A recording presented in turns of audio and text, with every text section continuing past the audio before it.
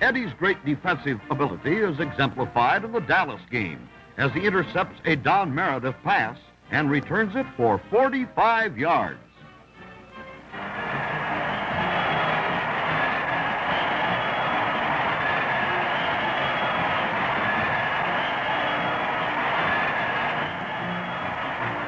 In the Cowboy game at Dallas, Red streaks past the secondary to take a Ryan pass for 61 yards and a touchdown.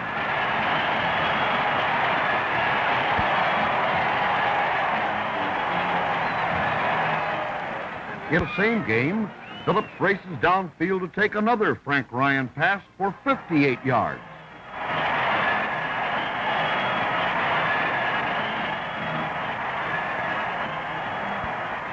Phillips' ability to run the pass patterns perfectly pays off here as he cuts behind the goalpost and takes a 15-yard scoring pass from Ryan.